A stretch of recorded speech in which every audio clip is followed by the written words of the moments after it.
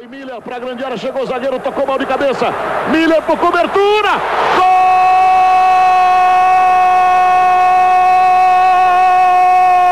Maravilhoso! Como ele foi inteligente!